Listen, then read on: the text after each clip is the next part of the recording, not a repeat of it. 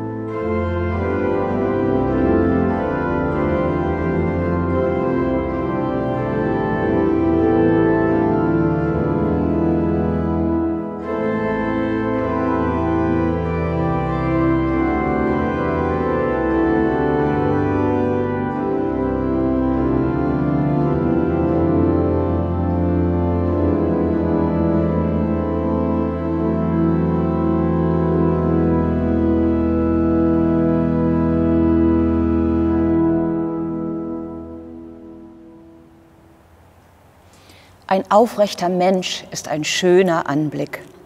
Er oder sie strahlt Würde aus. Und obwohl Jelena Osipowa aus St. Petersburg eine alte Frau ist und schon etwas gekrümmt geht, ist sie doch so eine aufrechte. Auf dem Bild, das durch die Welt ging, hält sie ein selbstgemaltes Schild vor sich. Darauf steht, Soldaten, lasst eure Waffen fallen und ihr werdet echte Helden sein. Kurz darauf wird sie abgeführt. Was für eine mutige, aufrechte Frau. Ein gewaltsam zertrümmerter Fuß ist deswegen ein starkes Symbol. Hier haben Menschen versucht, einem Mitmenschen seinen aufrechten Gang auszutreiben. Sie haben seine Füße gebrochen, aber eigentlich wollten sie noch mehr.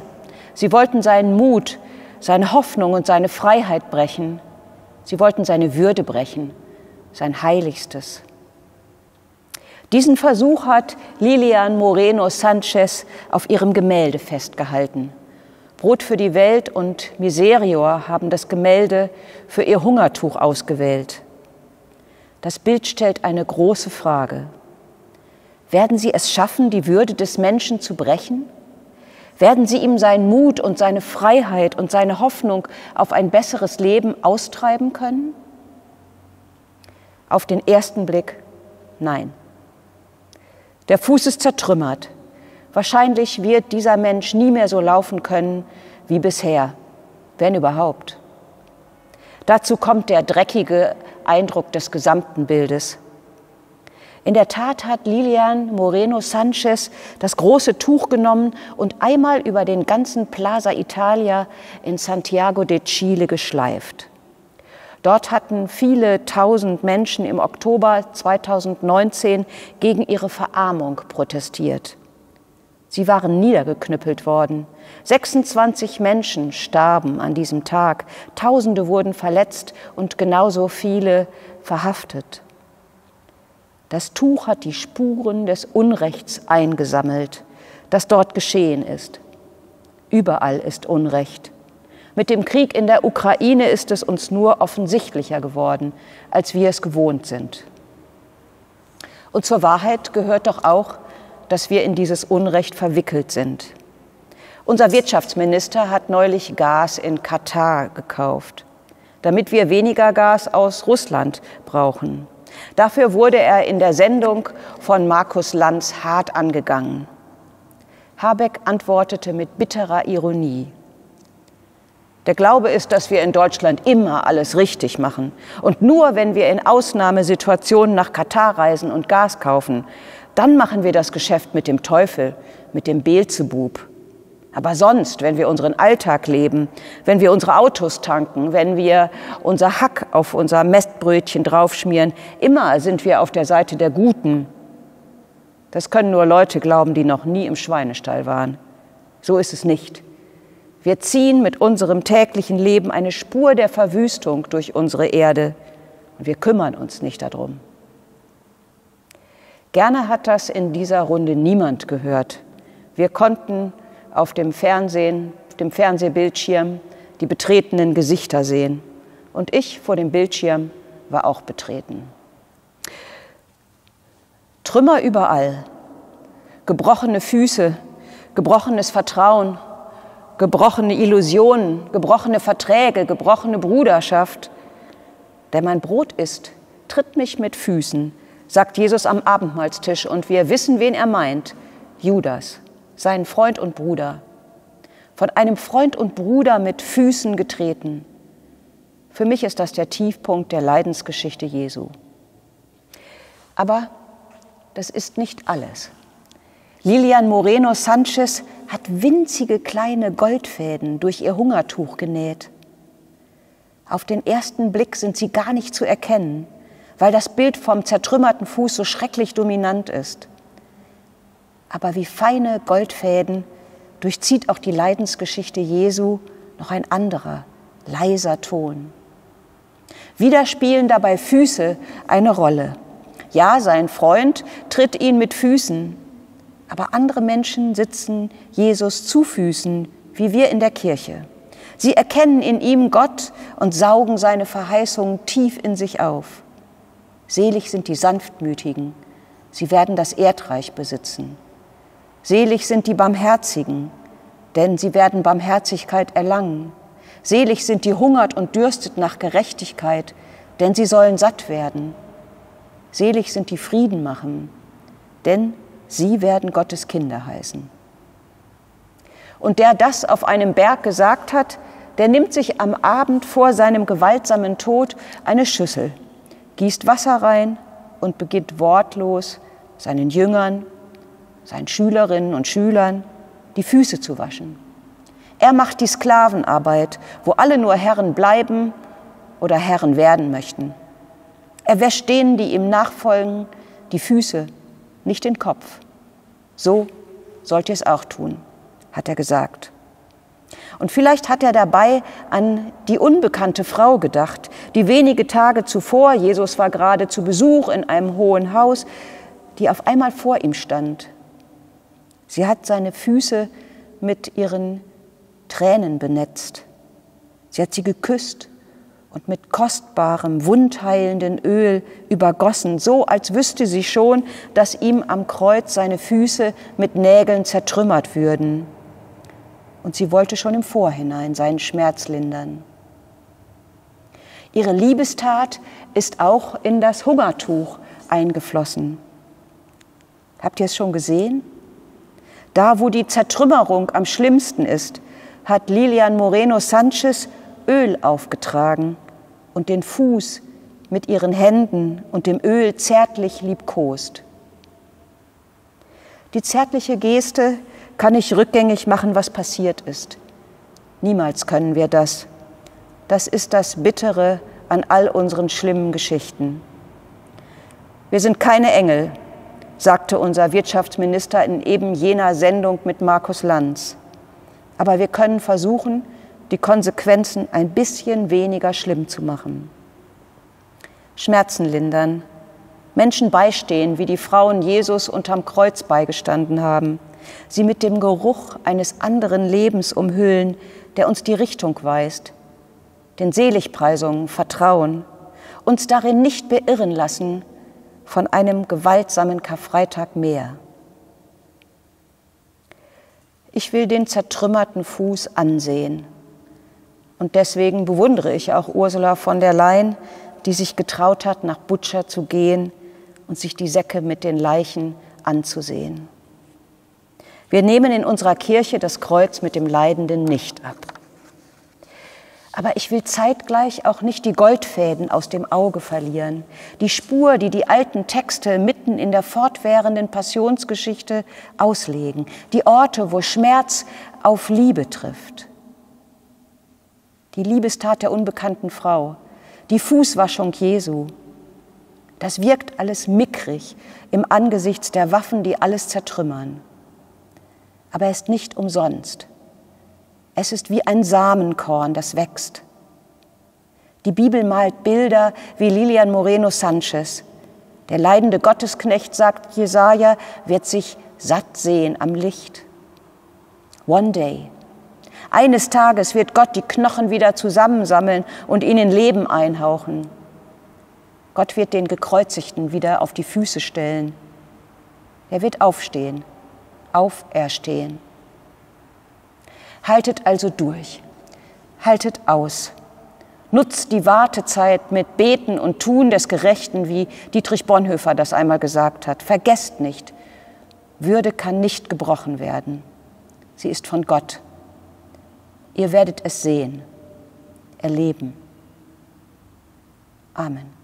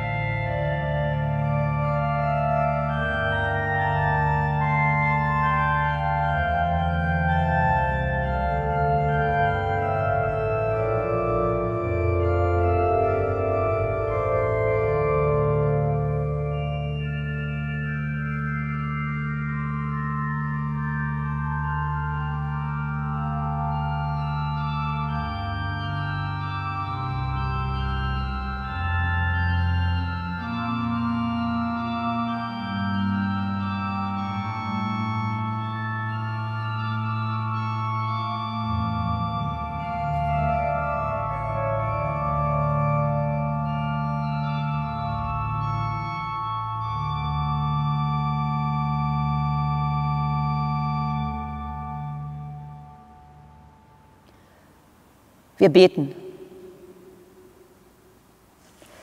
Gott ein Karfreitag wie jeder andere schwarze Freitag.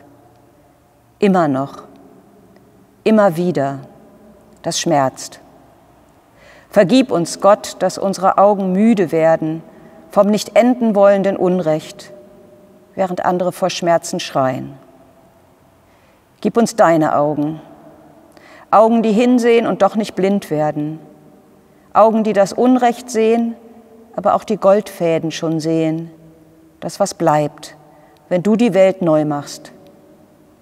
Beeile dich, Gott, mit dem Neumachen. Vergiss die Toten nicht, drücke die Verwitweten und die Waisen an dein Herz, befreie die zu Unrecht gefangen sind, stell alle auf die Füße, die gefallen sind, hauch ihnen dein Leben ein, erinnere sie an ihre Würde. Erinnere uns an unsere Würde, wir sind getauft. Wir gehören zu dir. Wir hören auf dich.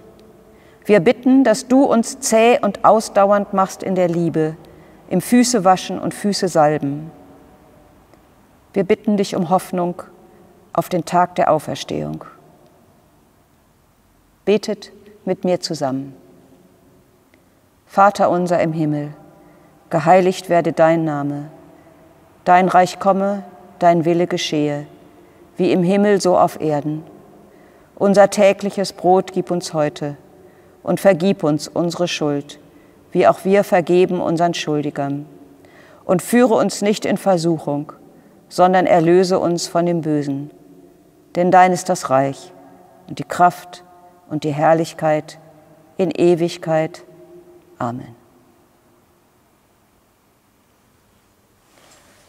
Richtet eure Füße auf den Weg des Friedens. Geht hin in Frieden. Und Gott segne dich und behüte dich.